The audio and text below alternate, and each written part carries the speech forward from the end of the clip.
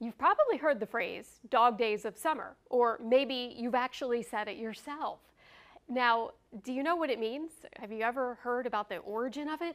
It doesn't actually have to do with our four legged furry friends lounging around lazily in the hot summer heat. It actually is celestial in nature. And it has to do with Sirius, the dog star. The word Sirius itself comes from heat or means scorching, and it's within the constellation Canis Major.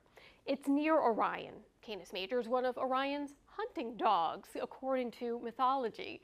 Now, Sirius is the brightest star in the sky, but we don't see it this time of year because it's actually rising with the sun.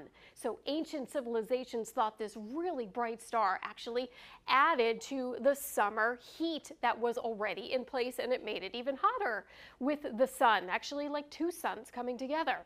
Well, we know that's not the case now, but this time of year between July 3rd and August 11th, which for us is on our current calendar, it's usually the hottest time of the year, and of course it's very humid as well. Now, going back thousands of years, this actually occurred slightly earlier in the year, and due to the changes in, in, Earth's rotation, it wobbles on its axis a little bit. That date has changed, and it's going to change for future generations. For much more on this, check out the article here on News12.com. I'm Stormwatch Team Meteorologist Michelle Powers.